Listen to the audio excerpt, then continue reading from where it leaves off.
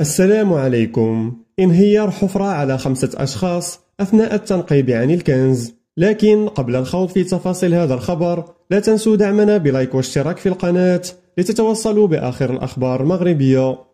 يشهد حي القنارية بالمدينة العتيقة لمراكش في هذه الأثناء من مساء يومه الثلاثاء 25 يوليوز حالة استنفار بعد محاولة خمسة أشخاص استخراج كنز مفترض من داخل أحد المنازل بالحي المذكور.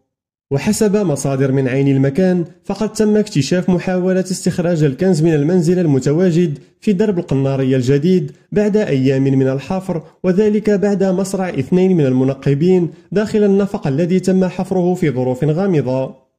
وقد انتقلت لعين المكان السلطات المحلية التابعة للملحقة الإدارية الباهية وعناصر الدائرة الأمنية الرابعة ومصالح الوقاية المدنية حيث تم توقيف شخصين ونقل ثالث للمستعجلات بعد تعرضه للإغماء. يعني استنفار أمني كبير الكل يتساءل فعلا واش اللي كانت السبب هي الأشغال الأشغال ديال البناء اللي تسببت في وفاة شخصين وإصابة وكسر لشخص آخر على مستوى الكتف أو أنه يعني يعني هذه الحادثة أو الواقعة يعني تترتبط ببحث عن كنز مفقود